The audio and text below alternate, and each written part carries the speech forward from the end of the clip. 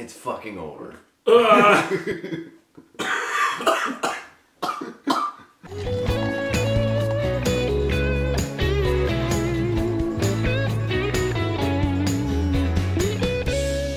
Okay, guys, we finally saw it, and Resident Evil, the final chapter. Case closed. Was it worth it?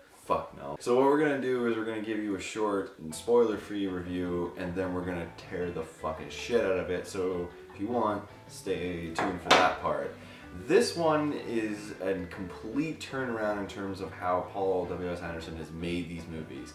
When we talked about how Afterlife was long, boring shots and slow-mo 3D, this one he seemed to be like, okay, you guys complain about that, let me take it up a notch by giving it ADD times a, thousand. Uh, I felt like uh, either the cameraman or the editor was Michael J. Fox, like the whole time. This movie could probably give you seizures, like the amount of cuts there are. There's probably more cuts in this movie than the entirety Of the franchise, franchise. in total. Fight scenes are all that quick editing shit that they've been doing in the Transporter and Taken movies, and it's it's so obviously bad. And then you were pointing out how the lighting is awful. It's very It dark makes it for a horror worse. movie, yeah. Like, what would you say are your top flaws? Because I have very specific ones for this film, but I actually enjoyed a lot of it. It was pretty fun. There are some enjoyable moments for, the fact that it is edited so fast. It is a change. It's definitely it keeps you in it. Mind you, at one point I got bored just because of how spontaneous the editing was. It just kind of took me out of it. I don't care about anyone in this movie, to be honest. Absolutely no one. And we they cared were- about Wesker. yeah, we cared about Wesker, but they fucked that up too. You'll find out in a bit. Definitely editing was a huge issue, just far too rapid. I found that there was too many scenes cut in close-up, like Mhm. even action scenes. Uh, when you're doing quick cuts and everything is like right up in their face, it gets really confusing, especially when the scenes are so dark, which is my second uh, major concern, is that for at least half the movie, maybe even a bit more, it's just very, very dark. Now we saw it in 3D. When you're wearing those glasses, it does Yeah, kind of darken the the film a little bit, but even then, it was like kind of hard to follow sometimes the action that was happening. Oh yeah. But uh, definitely my personal uh, gripe with this film is just how it totally ha- takes the potential of the ending, which was the previous film, Yeah. and ignores it, Yeah. forgets it, and that's not even like a spoiler. It just sort of it pretends like that climactic finish Didn't happen. didn't even happen, or did happen, but we never got to see that cool battle ensue. We just saw the aftermath, which is pretty lame. There are some interesting parts. Iain Glen's kind of cool. He's really Cool. hammy. He hams it. I kept whispering to him, it's like Iain Glen is so good in this movie. He just cheeses cheeses it up. Oh, and probably favorite part is... There's one scene where he's being villainous, and then he kind of like looks back at the camera and like smiles, and I don't know, I lost it then. Too many jump scares. yeah. Oh god, It's was just like, jump boom. scares in the beginning. There was like five of them, like chains, fallen flashlights, people in corners. Some of them were good. Like some of them actually. The first one, tense. the first one we knew was coming. Yeah. Well, I, got- I don't know how. And there was she- one involving a large creature later, which was pretty. Oh decent. yeah. That was fun. That was, yeah, that was like I laughed. Oh yeah, this same. Yeah. So. So if I were to rate this in terms of my rating system, it's not as bad as Aftermath. Sorry, Afterlife. Afterbirth. After, Afterbirth. And it's better than Retribution. It's better than Retribution. Oh god, yes. But it's still. Fuck, is it better than Apocalypse? Apocalypse Oh, that's hard. Yeah. That's actually probably the hardest part. Is this hard? Is this worse than Apocalypse?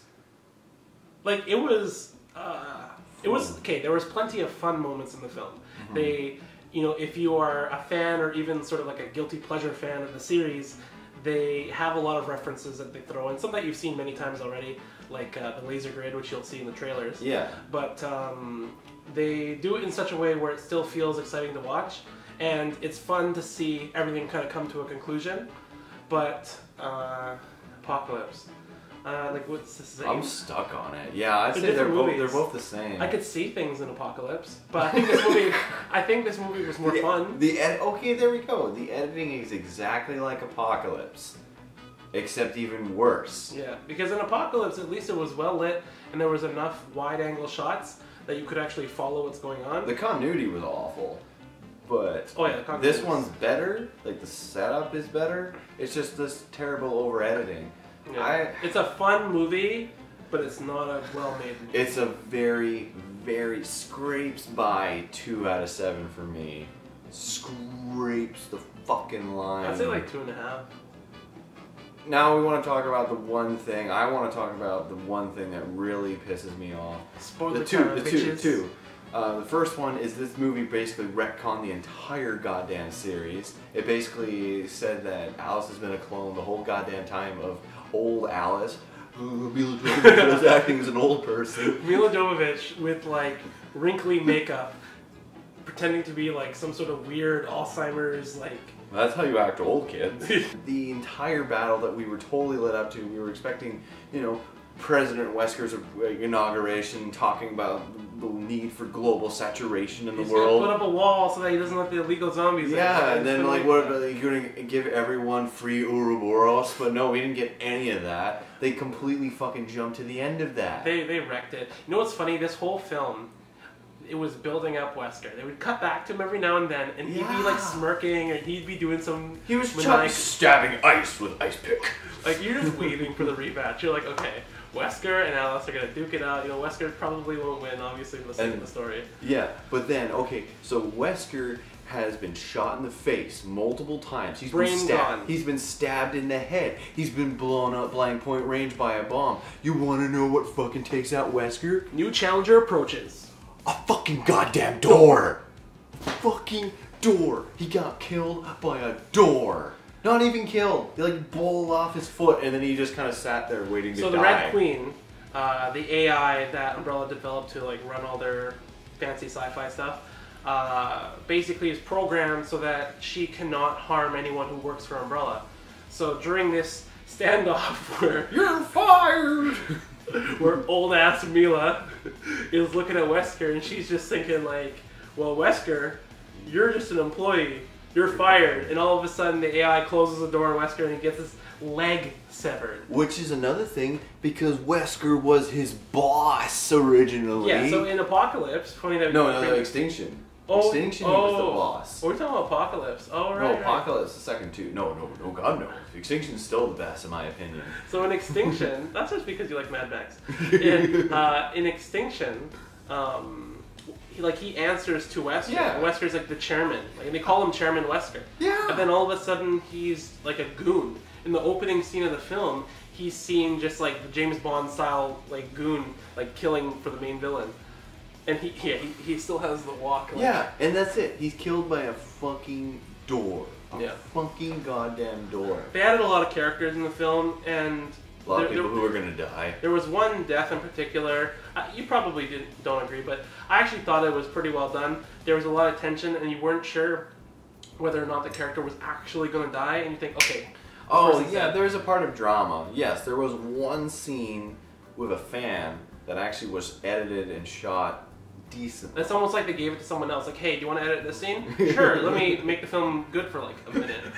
So, Yeah, no, it's it's not like you're gonna have an aneurysm watching it. Not if not from the story plot holes, which by the way they keep on showing you the bomb, the hole, the crater hole for uh, what happened with Raccoon City, and you, and you said that was the that was the entirety of the plot holes of anything written by Paul W. S. Anderson. They retcon things in previous movies in such a way where they just like vaguely reference them. She'll look at uh, Alexander Isaacs uh, Iain Glen's character, and then she'll be like, "Oh, I thought I killed you," and he's like, and then she's like, "Oh, you're a clone." oh yeah no Oh, cool. yeah That's no wonderful. goddamn so many fucking clones like the clone shit that I brought up in Retribution. This was- out of fucking hand. This was as good probably as Star Wars Episode Two: Attack of the Clones. It's not the worst one, but I don't think I could watch it again. I swear I'd get a goddamn headache from. I could watch it on a screen where I turn up the gamma by like a thousand, and then I could actually enjoy it. So. Anyway, guys, I guess that's it. That is all of the Resident Evil movies. For now. Yeah, oh yeah. It's but at the end, you think that she sacrifices herself, and the whole time we're like, oh, wow, that actually is not bad. Good job, Anderson. Oh, and then all of a sudden she start waking up, and I'm like, no, no, no. And then all of a sudden, it turns out she's a freaking alive, and it's like, fuck you, Anderson. Fuck you. Mind you, he didn't do the recap thing as bad. Yeah, the intro, what we were expecting, like, 20, Yeah. I'm gonna go get some popcorn. 20 minutes later, I'll come back. She'll finish recapping. They actually opened. We were actually like already joking, and then they started it differently. And I actually had to stop for a second, like, hold on, let me actually listen to this. 'cause It's actually. Well, it was stupid because that would have actually been important had that actually been, you know, started from the fucking beginning. no, I feel like they came up with like all these ideas last minute. Like, how are we gonna finish this? Oh yeah, like Paul went. He's like, "Fuck! I wrote myself into a corner. So many goddamn corners. Wait, I'll just create a hole. I'll dig through the hole, and that's how I'll get out." I like how when the nuke went off in Raccoon City, it went just deep enough to get to the entrance of the hive. By the way, there was no previews for this movie. They started, they did the animation, they did the animation for like up and coming movies, and then all of a sudden the Cineplex uh, symbol appeared, and I'm like, wait a minute, they show that after the the, uh, the the trailers. Like, did they fuck it up? And then all of a sudden the movie started, and I actually said out loud, "Holy shit!" There's no trailers. Out no loud. one wanted to put their trailers to this movie. No one, you just don't want to associate. With No, movie. fuck. It was no. Hey, but there's a new Resident Evil animated film coming out this year, and it, you know what? It's probably gonna be a heck of a lot better than this. So Yeah, that's true. we'll see. Well, also Resident Evil 7 is out too. I'm not gonna touch it, but I know Petrum's gonna be playing it. Oh, the new run? Yeah. Oh, I beat that in a day. I was playing like hardcore, nonstop, Fuck, no dude. sleep. The Anyway, game, fantastic. The movies, oh, Yeah. you gotta, you gotta go in with a You gotta go in with some with a heavy heart. Anyway, guys, that is uh, it for us. Thank you for having watched all of our reviews. Uh, It was painful. It wasn't worth it. No. Like looking back, it's like this, this is no, it it was wasn't. a waste of hours of my life. It was. On my deathbed, when I'm like old and crippled, I'd be like, "Fuck, what a waste of time." and meanwhile, the ghost of Paul W. Is gonna be counting all his money. Milo, we need to make a movie. anyway, guys, thank you for watching. Uh, we got the rest of the reviews in the playlist below. And like I said, we might review some of the animated ones, but And John Wick. two. Oh yes, John Wick 2 is gonna be sweet. That's coming soon. Anyway, guys, that's all from us. Thank you again for watching. We'll see you guys next time.